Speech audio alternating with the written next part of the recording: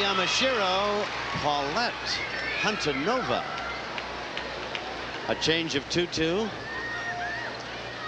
You know, I, I noticed a change in Paulette, though. Paulette has shaved her mustache. May have to shave her hmm. chest if Yeah. she's going to continue. Strikes a pose and goes to the balance beam. This is, of course, Paul Hunt, whose gymnastic routines beautiful. Here we go. With trepidation, he climbed aboard the balance beam. And his tutu has a smile for everybody. He used to have one that said mom on it. But when he kicked up to a handstand, it said wow. oh! Oh. Don't hurt yourself, Paulette.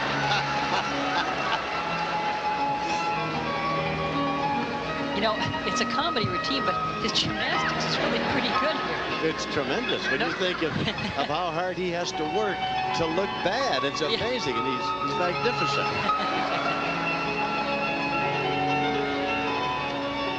That's a very good handstand. a little stuck there, though. E- even the Soviets are like this. Tremendous.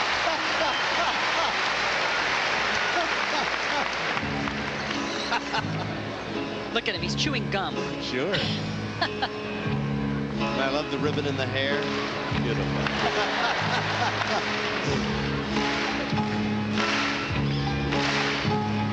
Paulette Huntanova, better known as Paul Hunt. See, now he's Huntanova for the sake of this competition.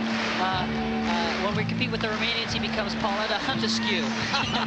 so we just changed the name.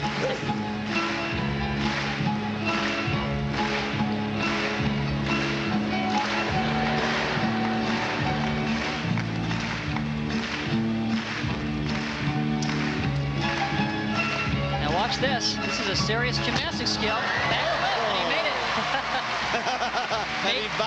Made famous by Olga Korbut. Now look at he stubbed his toe though, so he's got to be a little careful when he walks.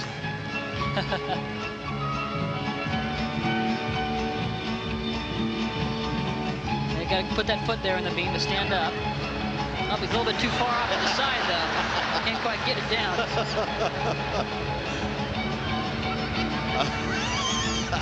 Beautiful.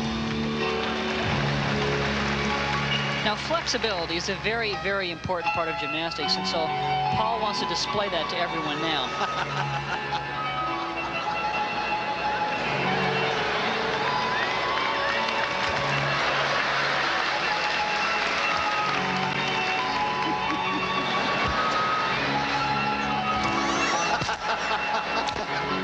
I tell you, he's worked that beam from one end to the other, Peter. Beautiful. Paul Hunt. What a magnificent comedy routine. Beautifully done. He's out of Murray, Utah.